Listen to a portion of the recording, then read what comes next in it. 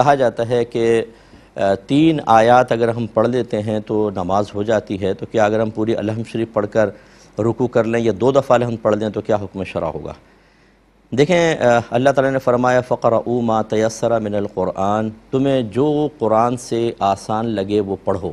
علماء نے فرمایا، نماز کے بارے میں ہے اور پڑھو کو چونکہ حکم ہے، تو عرب عرب میں قراءت کی کم از کم مقدار ایک آیت ہوتی تھی تو یعنی ایک آیت پر قراءت کا پڑھنے کا اطلاق ہوتا تھا، تو اس لیے یہ ثابت ہوا کہ کم از کم ایک آیت کا پڑھنا لازم ہے۔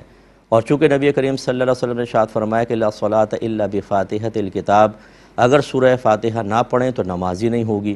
احناف کے نزدیک کثیر دلائل کی روشنی میں، جس کا بھی ٹائم نہیں ہے، صرف نتیجہ آپ کو بتا رہا ہوں۔ نتیجہ نکالا۔ کہ ایک آیت قرآن سے ثابت، ایک آیت کا پڑھنا تو ایک آیت کا پڑھنا فرض، اور چونکہ حدیث میں تاکید ہے، اس لیے اس کے ساتھ الحمد پڑھنا واجب۔ تو لہٰذا اگر آپ کہتے ہیں الحمدللہ رب العالمین، تو یہ تو فرض ادا ہو گیا۔ اب ہمیں واجب ادا کرنا ہے۔ جو نبی کریم نے طریقہ بتایا وہ یہ کہ پہلے الحمد پڑھیں، اس کے بعد ایک صورت ملائیں۔ یا کم از کم تین چھوٹی آیات یا ایک اتنی بڑی آیت جو ان تین چھوٹی آیات کے برابر ہو۔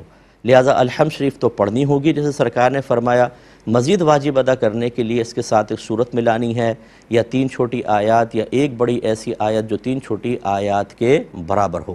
لہٰذا معلوم ہوا کہ اگر صرف آپ الحمد شریف پڑھ کر رکو میں چلے جاتے ہیں، تو اس سے فرض ادا ہو گیا، کیونکہ ایک آیت پڑھ لیا آپ نے، الحمد کا واجب بھی ادا ہو گیا۔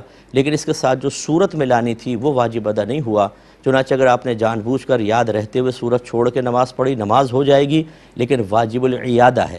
یعنی بعد میں اس کو لوٹانا ہوگا، اس کا سرد صاحب سے تدارک نہیں ہوگا۔ اور اگر آپ بھول گئے، الحمد پڑھ کر چلے گئے رکو میں بعد میں یاد آ گئی، تو آخر میں سرد صحف کرنا ہوگا۔